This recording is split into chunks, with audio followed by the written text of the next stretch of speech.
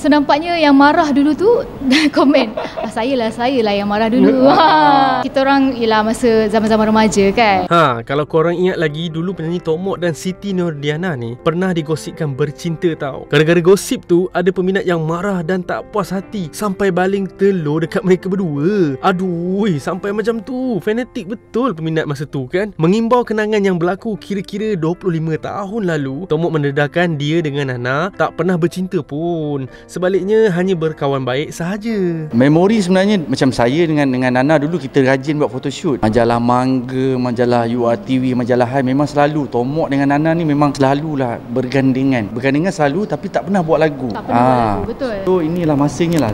Saya Ini kali lah. kiranya lagu yang dah 25 tahun kita Ini Hmm. first time duet pop Betul. Lagu pop lah Hmm. uh, Sebelum ni kita buat lagu uh, special project Untuk Selawat. Ramadan, Hmm. selawat Tapi kali ni uh, untuk peminat-peminat yang merindukan Vibe 90s, vibe Leman Berhasillah lagu Memori Mungkin Berulang ini Betul. Okay, kita tahu lagi sebelum ni kan ada kisah yang kata dikaitkan bercinta kepada peminat tak suka lah apa semua. Oh, zaman Benda tu boleh buat boleh orang kata berulang kembali ke cepat Okey, macam, macam dulu me- memang ada satu zaman tu memang oh memang tak boleh lah peminat kita ni masing-masing macam marah ke macam tu lah kan. Tapi sekarang yang yang yang bestnya peminat saya dan juga peminat Nana ni kita bergabung untuk macam naikkan lagu tu. So benda tu satu benda yang yang yang best lah. Macam dulu tu biasalah zaman sekolah kan. Ah, sebenarnya kita orang berkawan je. Tak ada tak ada apa-apa pun kan. Ah, tapi zaman-zaman dulu tu macam eh tak boleh lah Tomo uh, photoshoot dengan Nana ke kan. Dia orang marah. Tapi sekarang alhamdulillah nah eh. Hari ni bila kita post dekat Instagram Mengimbau kenangan-kenangan lu- dulu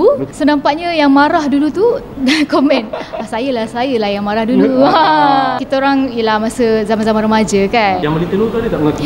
Dia pun kena baling telur, Nana pun kena baling telur Ha, juga ha, ha. Memang zaman dulu suka Oh, zaman dulu memang eh, hardcore, hardcore sikit lah kan. Walaupun zaman dulu tak ada media sosial tapi dia punya hardcore tu memang eh, Sebab betul lah. maybe sebab dia orang jarang jumpa artis kan ni saya dengar cerita je kata kena beli telur Tapi yang pasal paling terus sebabkan gosip cinta Ah. Sekarang nak tanya macam mana gosip tu boleh timbul Adakah sebab orang memang saling rapat ke Saling putus suka ataupun memang tanya macam Sebab kita satu era, kita start dalam dalam tahun yang sama dan masa tu Nana pun hit dengan lagu dia. Saya pun uh, bersama dengan New Boys, kita selalu photoshoot sama-sama. So mungkin daripada daripada, daripada situ lah kan sebab ada peminat hantar gambar macam dulu dekat photoshoot tu kek hari jadi lah. Ada tengok ah, dah, dah, saya dah lupa dah. So dia orang hantar kek hari jadi ni yang Tomo uh, photoshoot dengan Nana dulu. So dalam video klip tu ada juga uh, kek juga. Ah, Dia orang ingat. Kita dah lupa dah kan. Ah, so macam tu lah. Uh, biasalah orang nak kenen-kenen je lah sebab Kenen-kenen, kita ah. masa tu sama umur pula Betul. Uh, artis yang masih bersekolah pula itu je sebenarnya Itu je. tak ada apa-apa pun kadang-kadang kita photoshoot tapi Nana bercakap pun tidak dengan dia Ya, tau. ya. Ah. Tapi macam